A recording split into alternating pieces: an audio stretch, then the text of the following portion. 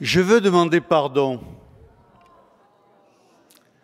Je veux demander pardon puisqu'une lourde responsabilité incombe forcément aux défenseurs de la vie quand une telle négation du principe le plus fondamental de la loi naturelle est présentée à la représentation nationale. Pardon devant l'ensemble des enfants qui ne naîtront pas. 225 000 par an en France qui disparaissent devant la grande coalition du prêt à penser et de la culture de mort. Pardon pour toutes ces mères que nous n'aurons pas su protéger des élans morbides qui ont tenu lieu de féminisme depuis des dizaines d'années.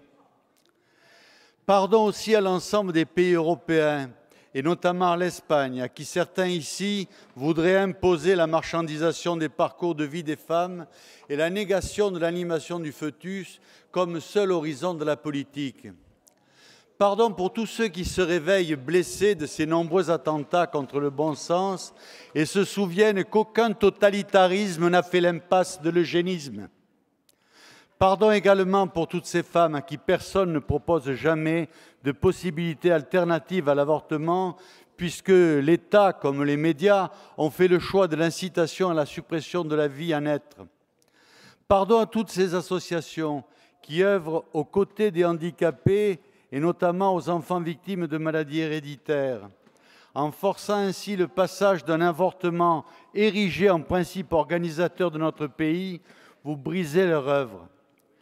Je veux demander pardon puisqu'un représentant de la nation ne peut que souffrir quand le CSA, refuse la diffusion de vidéos défendant les enfants trisomiques pour favoriser une culture de l'éradication de la différence et de la faiblesse. Une société qui érige de tels principes ne peut pas se plaindre des divers mots qui la traversent. Réification de l'homme, hédonisme autodestructeur, victoire des puissants sur les innocents.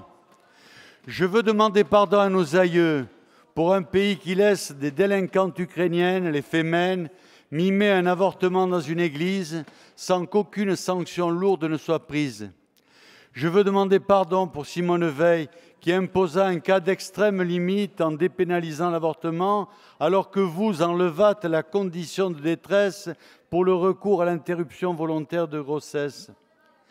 Je veux demander pardon à toutes ces femmes à qui vous vendîtes le droit à disposer de leur corps pour en aboutir à la généralisation programmée de la GPA, c'est-à-dire au retour à la plus pure barbarie du marchandage du corps de la femme.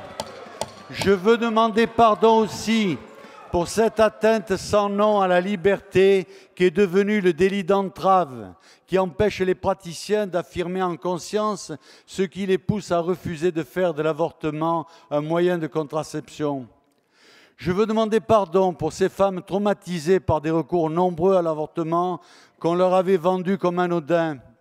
Je veux demander pardon pour toutes ces vocations perdues dans la médecine abasourdie qu'elles furent de cette négation des éléments les plus fondamentaux du serment d'Hippocrate.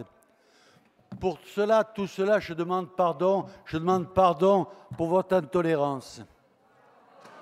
La parole est à Madame Annick Le Petit pour le groupe SRC.